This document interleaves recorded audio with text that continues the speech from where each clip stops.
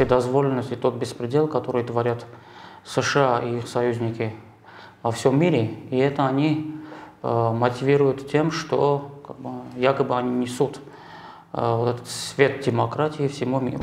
19 числа в 15.00 еще э, есть, э, должно состояться шествие э, в поддержку действий России на, на Украине. Эти биолаборатории в Армении имеют двойное назначение. То есть они могут использоваться и в гражданских целях, и в военных целях. Я не говорю, что Нагорный Карабах должен быть обязательно в составе Армении или, например, независимым государством. Нагорный Карабах, например, может войти в, интегра в интеграционные э, объединения, например, в то же союзное государство вместе с Россией и, и Беларусью. Э, и, кстати, сегодняшняя ситуация э, Армении – это следствие вот это, этой многовекторной политики армянских властей прежних. Потому что многовекторность это не означает и Запад, и Россия. Многовекторность означает фактически только Запад. Добрый день. В эфире Ирявунг ТВ. У нас в гостях координатор антинацистского фронта Армении Хайк Айвазян. Добрый день, Хайк. Добрый день. Спасибо, что приняли наше приглашение, пришли в нашу студию. Хайк, Пожалуйста, представьте э, вот, э, работу вашего движения, вообще цели, задачи антинацистского фронта. В чем, в чем заключается? Ну, э, как бы наша деятельность началась не сегодня, и, и как бы на протяжении многих лет мы наблюдаем ту, ту ситуацию, которая сейчас во всем мире, точнее говоря, ту вседозволенность и тот беспредел, который творят США и их союзники во всем мире. И это они э, мотивируют тем, что как бы, якобы они несут э, вот этот свет демократии всему миру. Э, при этом речь идет именно об американской, американской модели демократии, которую США навязывают всему миру. При, при этом навязывают э, агрессивно, то есть те, которые не согласны с этим, они подвергаются агрессии со стороны НАТО. И прямым агрессиям, и э, как бы с помощью так называемых э, цветных революций. То есть те, которые не согласны с э, э, американской моделью демократии, а они это э, как бы делают в том смысле, что они якобы исключительный, э, якобы избранный и э, един, единственная правда, это и есть американская модель демократии, якобы. Те, кто с этим не согласны, их заставляют принять вот эту модель американской демократии. Это и есть современное как бы, продолжение вот, нацизма. Э, просто вот сегодня уже, когда Россия начала э, свою операцию на Украине по э, денацификации, в том числе, уже начал, началось проявляться вот, истинное лицо Запада, то есть вот этих фактически, я бы, я бы даже не сказал пособников нацизма, фактически э, источника нацизма сегодняшнего. То есть именно они все 8 лет вскармливали вот этот новый э, нацистский режим Киева, э, закрывали глаза на геноцид русскоязычного населения на Донбассе, э, и фактически они и есть источник этого нацизма. И сегодня вот этот нацизм и в Европе, и в США проявляется, так сказать, во всей своей красе. Поэтому мы сегодня, то есть ту деятельность, которую мы вели до этого, мы сегодня это как бы э, ну, формализовали уже под антинацистским фронтом Армении. Э, естественно, под антинацизмом подразумевается как бы все виды нацизма, в том числе и сегодня, в сегодняшних условиях, в первую очередь Э, естественно, это англосаксонский нацизм, который является и источником как бы, всех бед на протяжении последних 30 лет. И вот э, в этом широком смысле мы уже будем проводить э, свои акции, свою деятельность уже в формате антинацистского фронта Армении. А вот на прошлой неделе состоялся ряд акций совместно с движением «Сильная Армения» mm -hmm. с Россией за новый союз. И знаем, что 19 числа также собирается, вы собираетесь провести акцию против нацизма в поддержку России. Представьте, пожалуйста, подробнее, что это за акции были, что ожидается 19 числа. Ну, это акция как бы продолжение того, той линии, которой мы придерживаемся. Э, ну, я знаю, что есть еще и 19 э, числа в 15.00 еще э, есть, должно состояться шествие в поддержку действий России на, на Украине.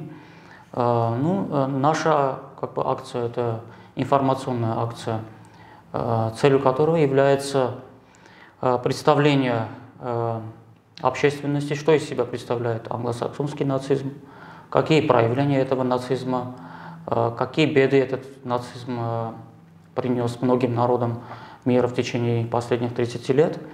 Э, ну, в общем, он, эта акция как бы одна из акций наряду с другими, которые как бы против нацизма, против сегодняшних проявлений нацизма и в поддержку того правого дела, которое которое Россия осуществляет на Украине.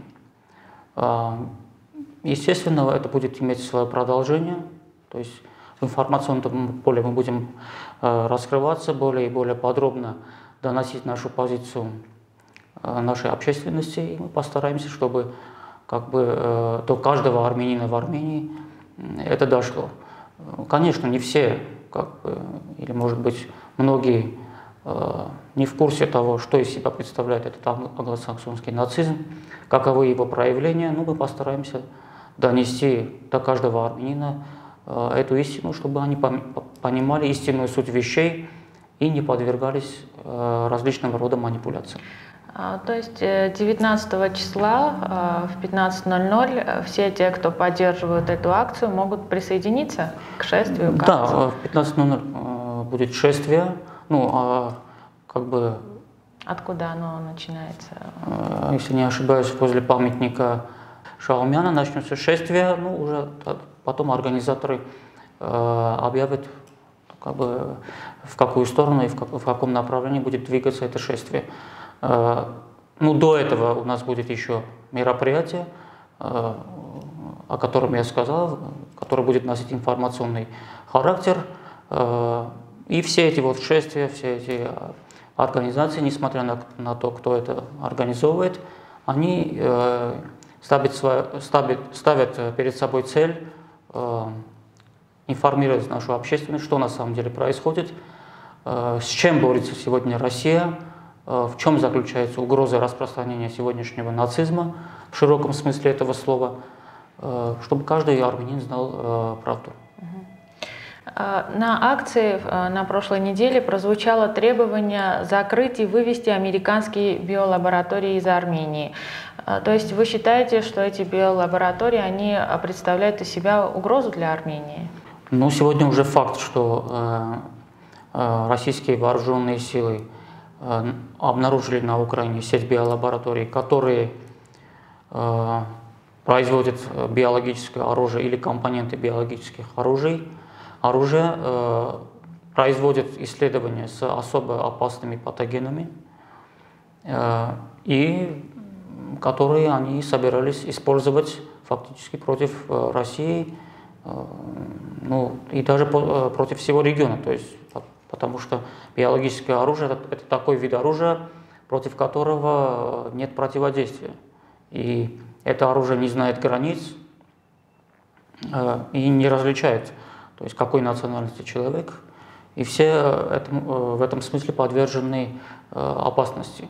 Э, по-моему, там была, была обнаружена сеть из 30 биолабораторий, которые все финансируются со стороны Пентагона США. Все эти документы уже в руках вооруженных сил значит, Российской Федерации, и уже Россия, в том числе, кстати, и Китай, предъявили э, требования к США, чтобы они раскрыли э, ту информацию, э, что они делали на Украине, чем они занимались. Э, ну, короче говоря, выложили все то, что э, и все те документы, э, которыми они занимались э, и которые свидетельствуют о вот этих биологических исследований э, военного назначения на Украине. Теперь в Армении, ну как минимум с 2016 года э, и на сегодняшний день действует как минимум 12 таких биолабораторий. Все они финансируются э, Пентагоном США, то есть военным ведомством США. Э, и мы не раз поднимали вопрос, почему финансирование идет от военного ведомства, а не от э, Министерства здравоохранения США. Потому что у Министерства здравоохранения США огромный бюджет, и в принципе они могли бы э, есть, э, в этом бюджете и предусмотреть те затраты, которые они делают э, в Армении, если это, эти исследования носят гражданский характер. Но поскольку этим занимается Пентагон, то э, мы как минимум можем сделать вывод, что эти биолаборатории в Армении имеют двойное назначение. То есть они могут использоваться и в гражданских целях, и в военных целях. Э, то есть могут проводиться исследования с особо опасными патогенами, а результаты этих исследований могут забирать э, Соединенные Штаты в Пентагон, анализировать их и на этой основе Э, например, создавать биологическое оружие, которое действует на специфические этнические группы. Э, в 2017 году уже президент Российской Федерации заявил, что по всей России собирается генетический материал или биологический материал разных этносов. То есть э, отсюда делаем вывод, что США, нарушая конвенцию о запрете производства биологического оружия, они фактически занимаются производством биологического оружия, не допускают и не допускали никого для проверки этих лабораторий. А, то, что говорят о том, что якобы в Армению в свое время, пару лет назад, приехала группа специалистов из России и проверили, это ложь. А, серьезной проверки, то есть на уровне военных а, значит, биологов, не производилось. То есть там нужен тщательный анализ, при, при том именно военными биологами, потому что биологи гражданского назначения, они могут просто не понять э, исследования, которые производятся, в военных целях. То есть это специальное, э, как бы специальное направление, специализация. Э, поэтому, учитывая то, что уже в России на этот счет возбуждено уголовное дело, то я думаю, что рано или поздно значит, следственные органы поднимут вопрос о проверке таких же биолабораторий и в Армении. И в Армении. Следовательно, вот эти э, нитки рано или поздно приведут и в Армению. И рано или поздно им придется, конечно, в первую очередь властям Армении, раскрыть эти биолаборатории и э, как бы разрешить военным биологам провести там исследования тщательные. Э, очевидно, что э, эти биолаборатории строились в нарушение Конвенции о запрете биологического оружия. Я уверен, что там найдутся множество нарушений, которые касаются обеспечения биологической безопасности – эти лаборатории находятся а, в городах-миллионниках или в больших городах. Плюс Армения сейсмоактивная зона, и любые, например, землетрясения могут а, вызвать утечки особо опасных патогенов. То есть в целом вот, вот такая картина. И естественно, что после соответствующих проверок если обнаружится, я, я уверен, что обнаружатся какие-то нарушения, то э, соответствующие лица, которые знали об этом, в том числе и должностные лица Республики Армения, должны понести уголовное наказание э, за это. А Соединенные Штаты и их союзники, ну, в основном США, конечно, которые проводили вот эти все эксперименты и исследования военного характера, они на международном уровне должны Э, ответить э, за те угрозы, которые они создали для всего мира. А на цех, кроме флагов ЛНР и ДНР, также поднимался флаг Арцаха. И в связи с этим сейчас мы знаем, что обсуждается возможность подписания мирного соглашения между Ереваном и Баку. При этом Баку э, выдвинули ряд требований, угу. при которых они согласны подписать это соглашение. Насколько эти требования, они вообще приемлемы для Армении? Э, и есть ли предпосылки, что власти пойдут на подписание? И есть ли угроза, что вот опять в плане уничтожения армянского населения в том русле, в котором вы работаете, антинацистском, что это представляет угрозу для армян? Армянского населения Арцаха вот эти, исполнение этих требований? Ну, очевидно, что власти Армении умыли руки, то есть они вопросами армян э, Нагорного Карабаха не занимаются. А если сравнивать э, признание ДНР и ЛНР с Республикой Арцах, то э, мы увидим аналогию в том смысле, что Россия признала ДНР и ЛНР на том основании, что население э, этих республик подвергалось геноциду. Только на основании того, что они русские или русскоязычные. Теперь сегодня э, Азербайджан говорит, что Нагорный Карабах – это его территория, и э, так якобы говорит, что они готовы обеспечить э, безопасность и нормальную как бы, жизнь э, армян Нагорного Карабаха в составе Азербайджана. Но э, фактически мы, видим, что когда э, в конце 80-х годов э, в Азербайджане значит, произошли массовые убийства армян, при этом эти убийства произошли с ведома властей Азербайджана тогдашнего, тогдашних, то есть там тогда был Гейдар Алиев, руководитель Азербайджана, и фактически несколько дней а, вот, преступные э, какие-то банды, организованные, они а, производили резню армянского населения. На этот счет есть уголовные дела, которые в свое время были открыты. И до сегодняшнего дня значит, Азербайджан не дал никакую оценку, ни, ни политическую, ни особенно э, уголовно-правовую оценку этим действием. То есть никто не был наказан, а, не были выявлены организаторы этого, не были выявлены а, кто как бы а, верхушки, то есть во власти Азербайджана тогда занимались организацией этого, этих погромов, то есть кто чем занимался и так далее. И поскольку не было расследования, то фактически отсюда делаем вывод, что Азербайджан не видит никакой проблемы в том, что армяне тогда подверглись массовым убийствам. То есть фактически что случилось тогда? Советское руководство как бы ослаб, ослабило свой контроль над, э, над всеми процессами, которые происходили в Советском Союзе.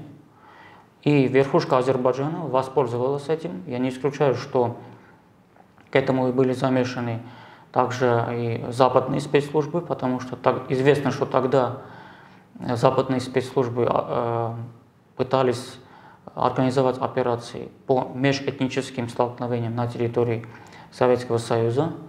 И Азербайджан воспользовался этим, то есть слабостью э, руководства Советского Союза и организовал эту резню. После чего армяне взялись за оружие, чтобы сами себя защитить.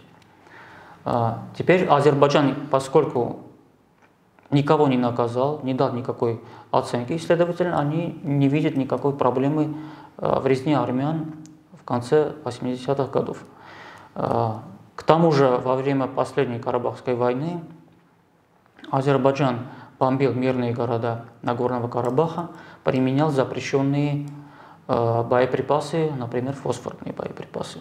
То есть нет, нет никакой гарантии, что если, например, теоретически, армяне Карабаха согласятся жить в составе Азербайджана, поверив, что Азербайджан э, предоставит им гарантии жизни, идентичности, веры и так далее, э, развития, э, то я уверен, что, например, лет 5 лет, в будущем э, 10 лет или через 20 лет при соответствующих геополитических каких-то условиях руководство Азербайджана может пойти опять по пути организации резни армян. То есть нет никаких гарантий, и Азербайджан эти, эти гарантии не может дать, что в будущем безопасная жизнь и развитие армян гарантировано в Нагорном Карабахе, если Нагорный Карабах будет в составе Азербайджана.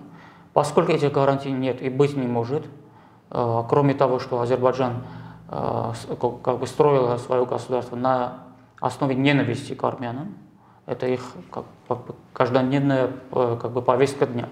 Следовательно, поскольку нет никаких гарантий, отсюда вывод, что Безопасность армян Нагорного Карабаха не может быть обеспечена, если Нагорный Карабах будет в составе Азербайджана. Я не говорю, что Нагорный Карабах должен быть обязательно в составе Армении или, например, независимым государством. Нагорный Карабах, например, может войти в, интегра в интеграционные э, объединения, например, в то же союзное государство вместе с Россией и, и Беларусью. То есть э, любой формат, который не предусматривает нахождение Нагорного Карабаха в составе Азербайджанской республики. Только в этом случае э, армяне Карабаха может, могут рассчитывать на безопасный мир, э, развитие и сохранение своей национальной идентичности. В противном случае э, дальнейшая жизнь армян Нагорного Карабаха, э, безопасная жизнь и право жить на своей собственной земле будет поставлено под вопросом. Ну, мы сейчас наблюдаем, что с одной стороны ведутся разговоры о подписании мирного соглашения, с другой стороны а, провокации, опять стрельба, опять э, даже психологическое воздействие, когда призывают армян покинуть территорию. А, и на этом фоне мы видим, а, что сейчас активно также идет процесс по налаживанию отношений Армении с Турцией. И, как известно, Азербайджан – это турецкий как бы сателлит, угу. все э, действия там как-то взаимосвязаны. И вот эти процессы налаживания отношений Армении с Турцией, к чему они могут привести, насколько они в интересах армян и вообще и на данном этапе? Я бы хотел еще тут добавить, что Азербайджан, когда мы говорим Азербайджан, то имеем в виду, что это Турция. То есть э, Азербайджан не самостоятельное государство. Э, Азербайджаном полностью руководит Турция, ну, как минимум в военном плане.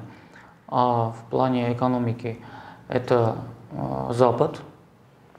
Не секрет, что там верховодят западные нефтяные значит, компании. Следовательно, те решения, которые принимает Азербайджан, они продиктованы позицией Турции и их э, западных кураторов Азербайджана, то есть в целом НАТО.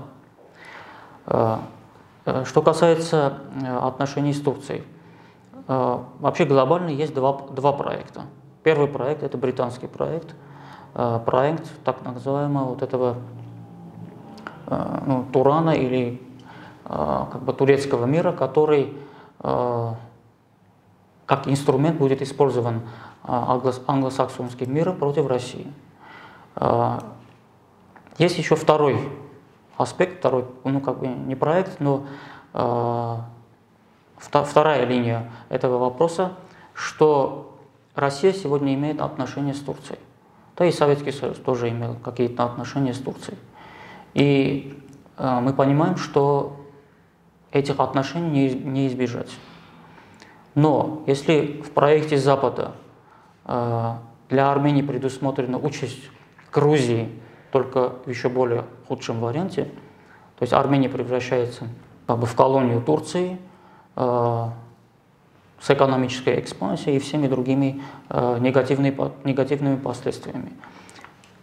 Э, второй, второй вариант, когда Армения интегрируется, э, например, в то же или входит в состав того же союзного государства, и уже союзное государство э, имеет какие-то отношения с Турцией. То есть мы в этом случае уже будем защищены соответствующими законами вот этого союзного государства, а эти законы будут защищать все, все, всех членов вот этого союзного государства, то есть от внешних э, и внутренних угроз.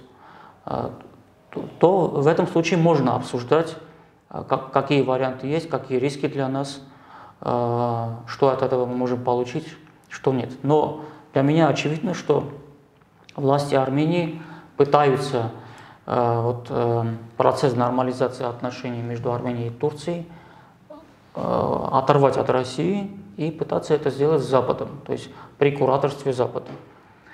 То есть не, э, случайно, что первая встреча произошла в Москве.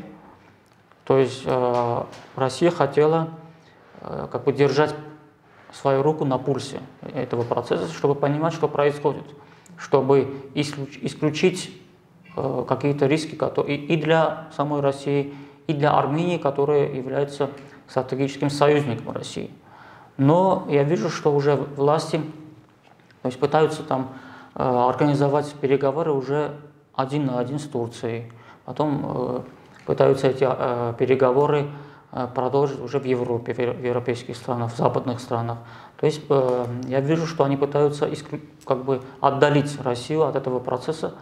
И что они там между собой могут договориться, не ясно. Но для меня ясно, что это будет не в пользу Армении и, естественно, будет во вред России. То есть чем больше этот процесс будет контролироваться э, Россией, тем, тем лучше для нас. Понятно, что избежать мы этого не, не можем. То есть потому что, э, ну, исходя из, например, того же заявления России и Китая от 4 февраля 2022 года э, о новых международных отношениях, вступающих в новую эпоху, понятно, что полностью мы не можем Э, как бы все это закрыть и э, как бы противиться всем этим процессам. Но один вопрос, по какому пути мы пойдем? По пути западной, западного проекта, где, в котором Армения вообще как государство и армянский народ как, как, как идентичность, вообще не, не предусмотрена их жизнь на этой территории, или пойдем Э, будучи союзником России, с помощью, с помощью России, где соответствующие риски и соответствующие угрозы э, будут учтены и нейтрализованы. Вот в этом и вопрос. И я вижу, что наш, э, наше правительство ведет процесс в другую сторону, не в пользу, наш, не в пользу Армении. Но я думаю, что учитывая те геополитические процессы, которые сегодня происходят, и та, ту интенсивность э, этих процессов, э, то я думаю, что просто они не успеют это сделать, потому что в скором времени, через, думаю, за считанные месяцы э, уже геополитическая ситуация прояснится, и э, вот эта новая конфигурация э, международных отношений, как, вступающих в новую эпоху, уже прояснится, и Э, как бы обретет уже какие-то материальные э, какие-то формы. Э, но они пытаются в это, то есть наши власти, Турция и Запад пытаются этот процесс форсировать. То есть, чтобы по-быстрому решить этот вопрос, максимально отдаляя Россию от, от, от этого процесса. Естественно, мы в этом, если так будет продолжаться, Армения окажется в проигрыше как говорят некоторые эксперты, пересмотр итогов Второй мировой войны происходит. И являясь э, стратегическим э, союзником России, Армения, она до сих пор э, не высказала какую-то свою определенную позицию. Власти Армении не поддержали Россию в ее действиях на Украине. Можно ли сказать, что вот такая позиция, она в себе несет угрозы для Армении, что э, если мы вовремя это не сделаем, власти вовремя это mm-hmm. не сделают, то после окончания и уже формирования, при формировании нового миропорядка, вот э, если Армения не определится заблаговременно, то она может э, в очень нехорошей ситуации оказаться, э, как некоторые говорят, э, разменной монетой потому что она в свое время не угу. заняла конкретную четкую позицию. А, ну, вообще-то говоря, это Запад пытается, США и союзники пытаются пересмотреть итоги Второй мировой войны. А, на самом деле Россия и Китай хотят это, эти итоги сохранить. Потому что, пересмотрев итоги Второй мировой войны, тем самым откроется ящик, ящик Пандоры. И в мире может наступить кровавый хаос.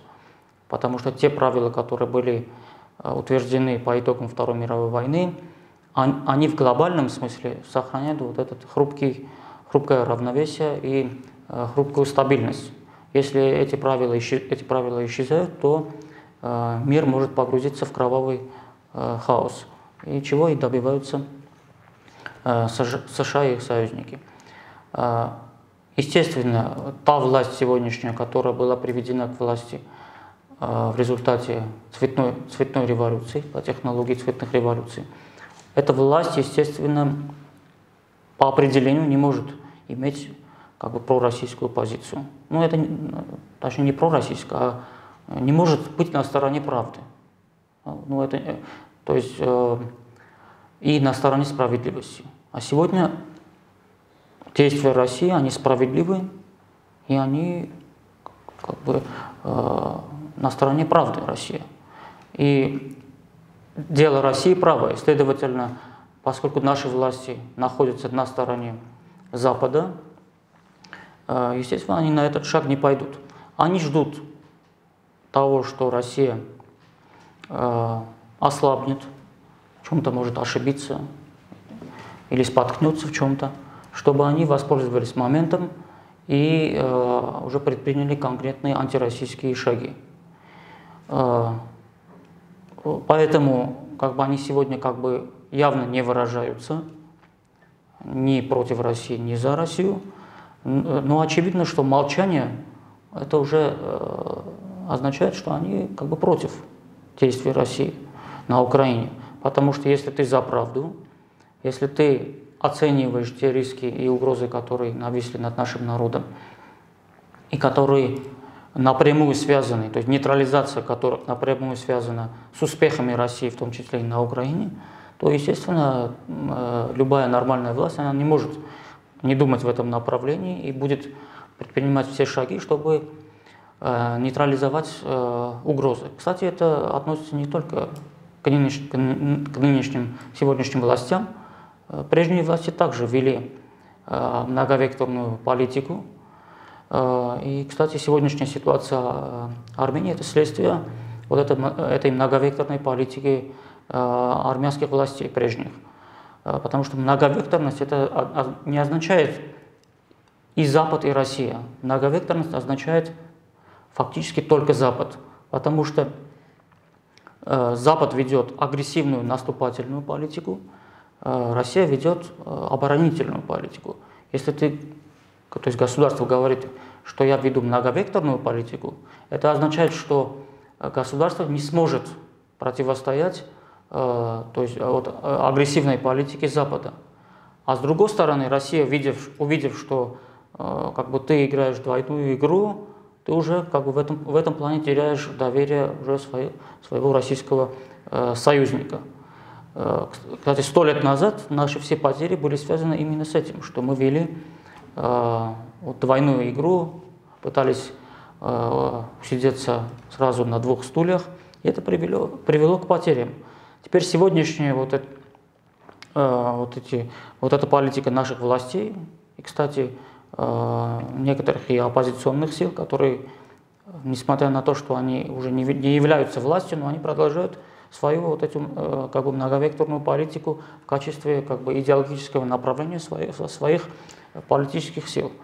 Э, то есть э, в России, например, я не думаю, что посмотрев на информационное поле Армении, они в качестве как бы, повестки дня, они увидят, что в Армении правильно оценивают, оценивают ту ситуацию, которая сегодня есть. Наоборот, они видят, что Армения играет, продолжает играть вот эту многовекторную, политику.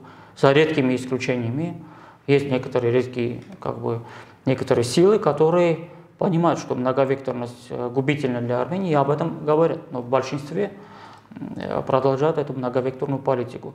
Ну, э, какие последствия могут быть? Э, тут два варианта. Армения так или иначе она в конечном итоге окажется в составе союзного государства. Вот этот процесс неизбежен. Только тут вопрос в следующем. Э, какой ценой или, или пост, какую цену, цену мы должны заплатить, после чего мы там окажемся? То есть это будут э, еще большие потери, или мы сможем все-таки э, как бы минимизировать эти потери и войти уже в состав того же союзного государства э, с минимальными потерями. Э, если, если такими темпами э, армянское политическое поле и плюс власти будет, будут продолжать, то э, для Армении могут... То есть цена зависит от позиции властей? По Не части. только, а, и политической мысли в том числе.